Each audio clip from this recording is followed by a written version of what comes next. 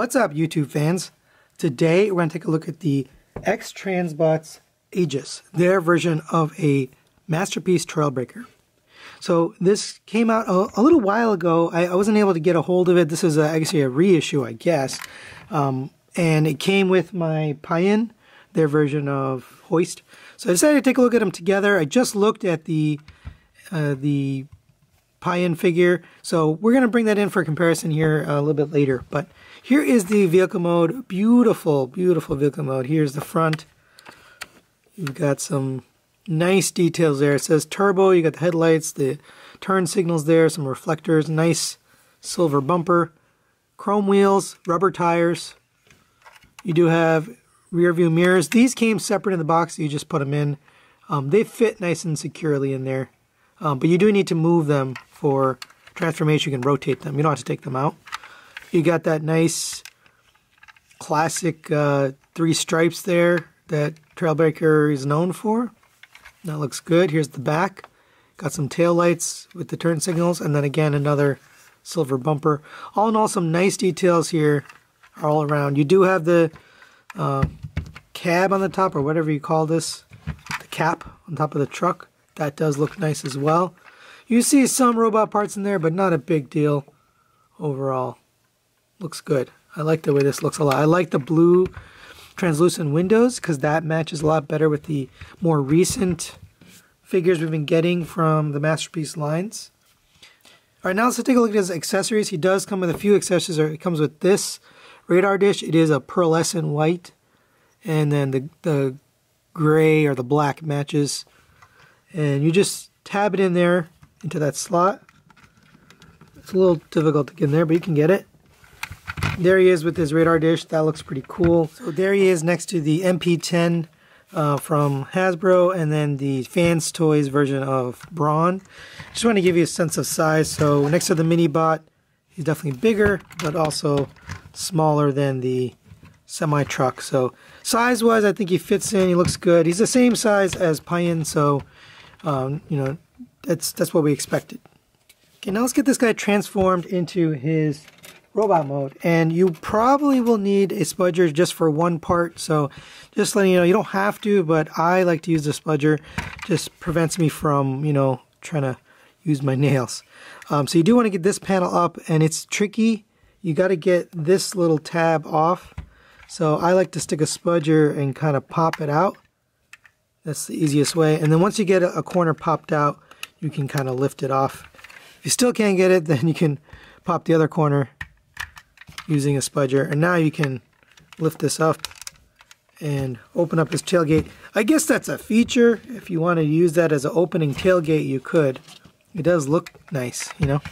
Uh, then you want to pop here. So these are both pegged in on each side. So you got to get up in here and pop that little tab right there.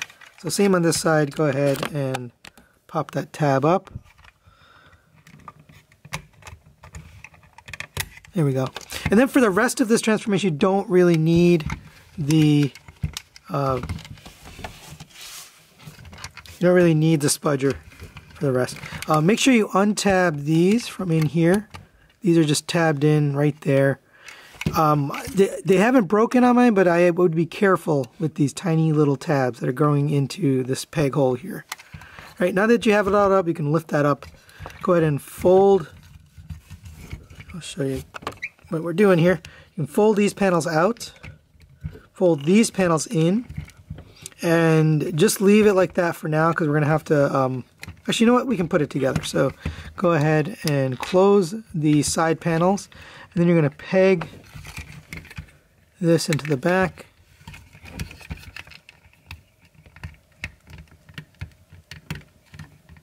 And we can just leave that like that for now. Right? That's going to become part of his backpack, obviously. All right, now we want to get these uh, legs out. So I recommend you um, untab from here. So there's a tab and a tab there. Uh, and then you can untab from here. And there are pegs that are holding it in, so go ahead and pull the, the wheels out just a little bit. You'll see there's a tiny tab that's holding. And then once you do that, you should be able to lift um, I guess you didn't need to take this tab out, but you can lift this entire leg piece up. Make sure you've cleared this tab because that might scratch. I've noticed that that's kind of close. Um, unpeg here, and now you can lift the entire leg up and out of the way.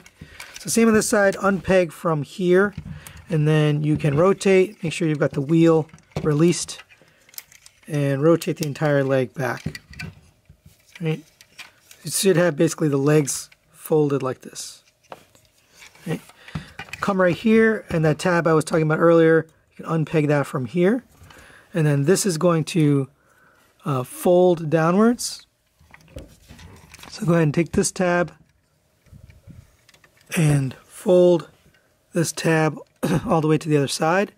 Same on this side, unpeg it from here if you haven't already, and then fold this tab all the way down to the other side. That's going to make the side of the foot. once you do that, we can unpeg this. So take off this panel here. Uh, it doesn't feel so great, but um, just be careful. It is on painted die-cast metal, so you want to be careful with the actual the paint on there. But basically unpeg this from here and fold it out. And this is the paint I'm talking about. Just be careful with that. so fold that all the way out like that. Okay. And this panel is what's what's catching here, so you just want to be careful with that. Fold the leg down. Then we can work on the inside here. You might need a spudger for this. Uh, if you can get it, you can get it. If you can't, then you're going to need a spudger. But you want to get this panel out of here. And it's it's folded up in there, so it's a little bit difficult to get to. Um, but see. It might help if you fold the uh, the foot down and then get it from here, this angle. There we go. So once you have it pushed up, then you can flip this panel out. You're going to flip this panel the other direction, basically 90 degrees all the way around, or sorry, 180 degrees all the way other direction. Go ahead and take this leg, uh, make sure you have this open, and you're going to accordion this down and this panel is going to have to come down and inside. So you can see how that's going to accordion down and in. Just like that. Oh, before I do that, flip the uh, flip the wheel in. Now you can close this up. Um, leave this panel open. Um, this is going to come around to the other side and it's going to basically make a filler piece right here on this part of the leg. Then you can close this down, close up the foot, open up his toe, and there you go. There's one leg, pretty much all done. So you're going to do the exact same thing on the other side, so we'll do that off camera. And now we got the legs done, we can work on the rest of the body. And um, I, I, I guess I'll save this for later, but just be careful with this paint. Um, it is a little bit sensitive to transformation. All right, so we're to work on the rest of this, and it is a little bit tricky. So you kind of have to get the sequence right, and it's it's a little bit annoying. But uh, rotate these rear view mirrors all the way down, like that. So they're just sitting on the side. Then you're to unpeg the arms from the front of the car it is a little bit tight, so you're going to have to work it out little by little. Try not to put too much force on there, but you can see now that's loose. Once that's loose, that's going to give you a little bit of clearance. And I don't know if there's a better way to do this or not. I haven't found one. Um, but you need to get this uh, this all clear. And it's a little bit tough. So um, go ahead and unpeg the arms. That's going to give you a little bit of space to work. And now you can just grab this piece and rotate that out. Okay. Now that we've done that, we can, you've unpegged this arm from the wheel, so that's going to allow you to fold this upwards like that. And then you're going to fold this entire panel out to the side. Right? Then you can take this arm you're just like the Payan figure, you're going to push this in and rotate that arm all the way, oops, not that way, this way, down until you get it straight in, straight with the rest of the arm, right? And we can leave that for now. Now let's work the other arm. So again, you've got a release from here. And I'm going to show this because, you know, it's a little bit challenging. Uh, once you loosen that, make sure you have this loose. That's going to give you a little bit of wiggle room.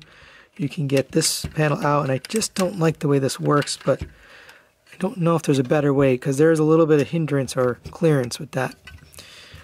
Now that you got that, go ahead and pull out the arm. Rotate this down this way. And then push the arm in. And then rotate until it gets straight with the rest of the arm.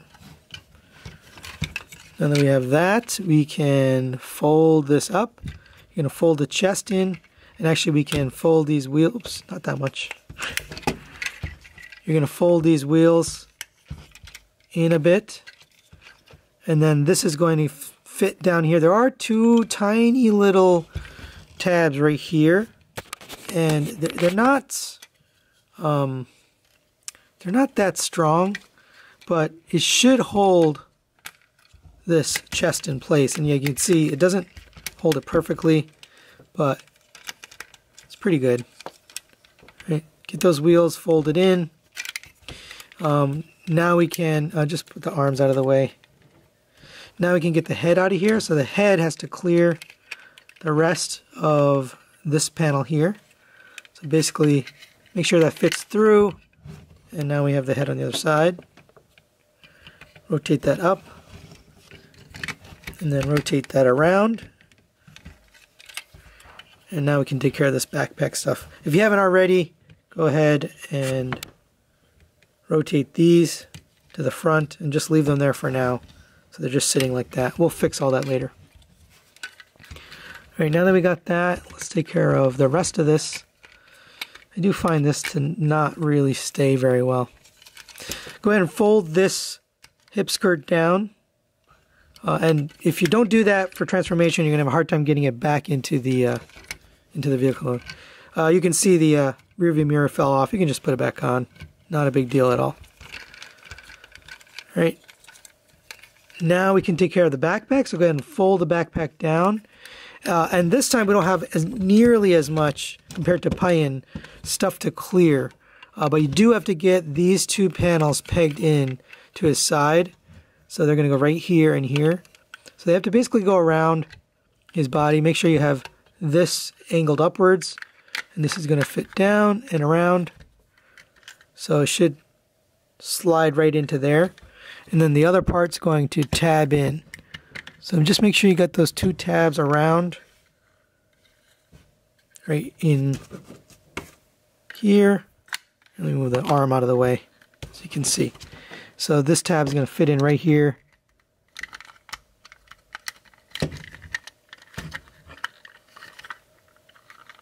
Now we got the backpack in there, kind of secured. We can work on the arms. So go ahead and rotate the arms. Just be careful. There is a little bit of clearance. Um, make this angle down. So same on this one. Make that angle down. Uh, when you're rotating these arms, make sure you're holding right here there is a note in the instructions that say these ratchets have a problem if you don't do that. So just be careful with those ratchets. And grab the hand, fold that out. Take this panel here, that's going to flip all the way around and peg right in. Doesn't really peg, it just kind of sits there, but make sure you have that in the right position. Rotate the elbow around, rotate the hand. Same on this side, rotate the hand down fold this panel out and just make sure you have that in right position. Uh, if you didn't have this panel folded, obviously fold that to cover down on the on the uh, wrist here. Rotate that down, rotate the hand, pull out the elbows, and get him situated. You can take these and rotate this back like that. And then on this one, you can basically have that kind of however you like. But there you have Aegis all transformed up into his robot mode. And he's a really good looking robot. I like the uh, the look they have here. I think I think they nailed the uh, cartoon aesthetic. Speaking of the cartoon, let's put the G1 cartoon there in the corner. You can take a look. We'll do a quick 360. All in all, pretty nice. Now the colors is what's different here. So they've changed sort of the knees. They've changed this silver. This used to be silver. Now it's um, pearlescent white. Maybe hard to tell on my camera here, but you got pearlescent white here and here and down here. And also the uh, weapons on his back, the scanner and the weapon are both uh, pearlescent white. Here's the back. You got that red on the knees. Um, I'll talk about that in a little bit, but there are some paint scrapes and scuffs on that. And I've been very careful, but there seems like no matter what you do, some of the paint on this tends to uh, come off. Overall, the paint job on the hood, very nicely done. I love the way that looks. Nice and shiny, really quite beautiful. Let's go over his articulation. So the head is on the same joint as the Payan figure, so it goes up to there, down to there, and rotates. It's on a rotating swivel. Um, you can pop it off that mushroom peg and replace the head like I show with the accessories. You do get a rotation here at the bicep. Um, these joints do pull out, so if you want to get it further out, and I guess I'll have to check the Payan figure to see if it does that as well. Um, but you get a you get a articulation on the inside joint there. And then if you hold here, you can articulate here on this shoulder joint. It's supposed to be ratcheted. I guess it's a very soft ratchet compared to Payan. This this one seems really soft. Uh, you have a rotation at the bicep. You have a single jointed elbow, gets you up to there. Rotation at the wrist. The fingers on a single pin, except the pointer finger, which is separate. And but because it's curled, you can't really get a pointer finger, but you can't get it like that. And then the thumb is on two joints, so one down here, a ball joint, and then a pin at the top. Uh, I, I, guess I'll mention these. You do have these, can articulate here, here, and here, so there's three points of articulation. And you can kind of get it however you want. Me personally, I like to have it back like this. This one, same thing, you got a joint here, and then you have a joint up here. So you can kind of get those posed however you like, you prefer. Uh, and then they do go in and out a little bit, but that's mostly for transformation. Continuing down, you do have a rotation at the waist. No um, ab crunch there. You have hip skirts back here and up here. The legs go up 90 degrees, back 90 degrees, out to the side, a little bit over 90 degrees. Rotation at the thigh. And you have a double jointed knee. Now it's a little hard to get the second knee to go. So this ratchet is you know used during transformations. You have that knee, and then you have this knee on the inside. Um, that one, you know, it's held by just a very tiny little piece of plastic here, and there are paint flecks coming off of there. So I don't know how sturdy that's going to be over time. I'm a little worried about that, but you do get the double jointed knee, so we'll give it to him. So you can get some poses out of that. And continuing down, you do have the ankle tilt out to there. You have a toe tilt, but no uh, back and forth tilt on the, on the ankle. So that's really it for articulation. Pretty well articulated overall. I think they did a good job, uh, especially for, you know, the size of this character. Um, I guess I might have missed that joint on Payan, so let's take a look at Payan really quick, and we'll do a bot comparison at the same time. So there he is with the Transform Element Optimus Prime and the X-Transbots Payan figure, their version of Hoist. Um, let's see if I missed, yeah, I did miss that. So there was a joint there, my apologies. I guess you can pull this out, and that gives you much more movement here, and it doesn't, it doesn't uh, collide. So uh, you get, it does look a little bit weird, but I like that that actually looks better because then you can get his range of motion a little bit better. Um, this one did have an ankle tilt, so it's a little bit different design than this one. Now, I like that they make them different. He's also shorter, so you can see they're not the exact same mold. I think that's a good decision because these characters are a little bit different. They, they have the same vehicle mode, but they're different in the robot mode. So I like that it's a little bit shorter. It differentiates them uh, quite a bit. Now let's take a look at the accessories. So some of the accessories you do have to take the hand off. So his G1 image does have him with this hand off, or I guess inside, whatever. And then this attachment is gone or whatever. And that looks pretty cool. Uh, I do think it goes this way because on the underside you've got that cut there, so I'm pretty sure they want to hide the cut joint. Um, it, it does transform with that in there if you wanted to transform that way. Um, but you also have some other accessories, so you do have this translucent piece, which is intended for this, so you can get that on there. It just press fits onto there, and then you can have it look like it's scanning or it's got waves, I don't know, radio waves, whatever you want. The other accessories, you need to um, rotate this hand to the inside. So go ahead and open up this panel here and open up the hand and fold it flat. Make sure it's flat like that. And then that's going to fold inside his arm. And make sure you get that all the way in. And then you're going to close this panel on top to hide away the hand. Like so. And then you've got a slot there.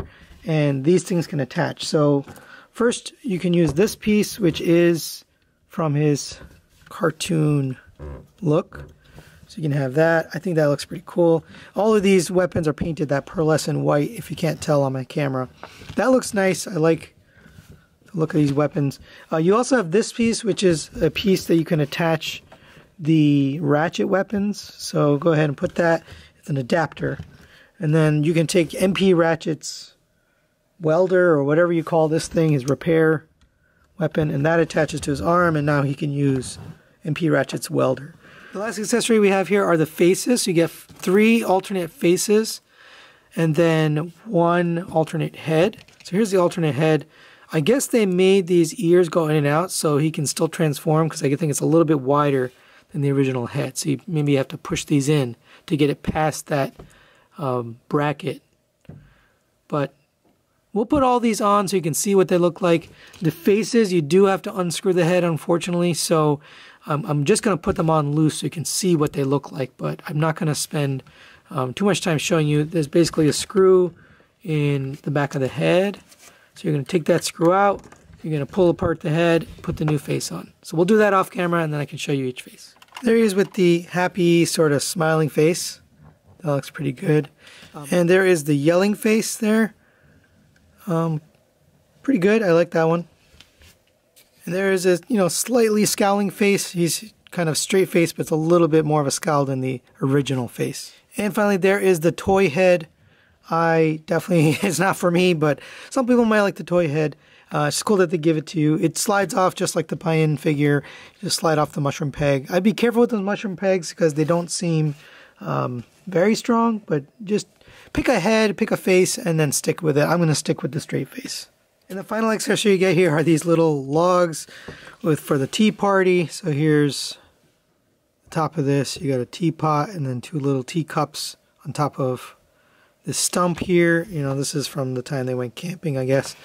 And I don't really know what you're supposed to do with this. There is a little hole there. I do have a little paint defect here.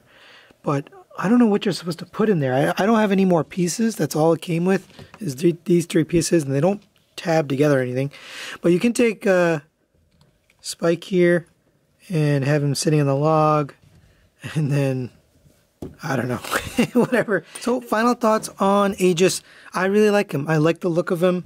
I think they've got really nice colors on this guy all the way around. I think that it's a good um, contrast with the the red and the uh, I guess pearl white and the grayish. I guess I didn't even talk about it. It's more like a graphite than than really a black. The original was all black. And you know, if you look at the G1 image, which you know I probably showed as we were going here, um, it is not quite all black. So maybe that's why they made the change. Um, and then if you bring in the other guy here, here's Payan. These two really do look good together. I like the differentiation between the two. I like that they're very different size, shapes. The design of the legs is very different. You can see the feet and the legs are, are totally different. The the backpack is totally different. Oops.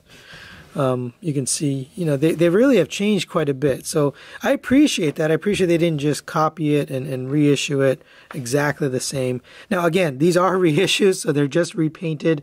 You don't really get anything new. The accessories are pretty much the same accessories that we've gotten before. So not too much new there. So if you already own these two in the original releases, you're probably not going to pick this up unless you're really into the, the Toon look. For me personally, I don't have a Trailbreaker or a hoist, so this is going to be my stand-in right now.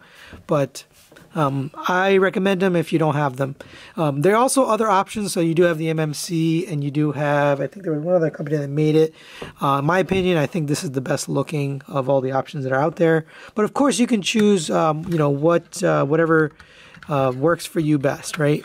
Uh, for me personally, I think this is one of the better looking choices of, uh, out there. So that's really it for today. Thanks for watching, guys.